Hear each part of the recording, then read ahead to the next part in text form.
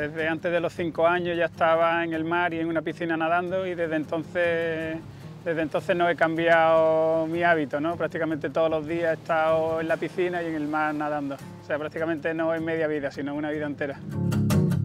Empecé con las travesías de, larga distancia, ¿no? esto es diferente, ¿no? ya es, más un, un, reto personal y una superación personal y no es tanto una competición contra nadie ni contra nada, ¿no? contra ti mismo. La de Nueva Zelanda fue más por, las condiciones del mar, que el agua estaba a menos de 12 grados y estuve nueve horas nadando.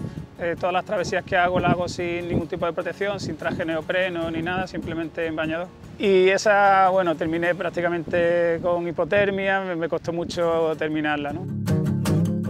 La mentalidad que tienes que, tener para afrontar ese tipo de retos. ¿no? mucho tiempo eh, en soledad, en soledad física le llamo yo, ¿no? porque después también me, enriquezco de, recuerdos de la gente, de los amigos y quiera o no, pues bueno, van acompañándome en la travesía. Lo que estamos intentando es recaudar fondos para un centro comunal en una zona muy, muy desértica y, y degradada de la India.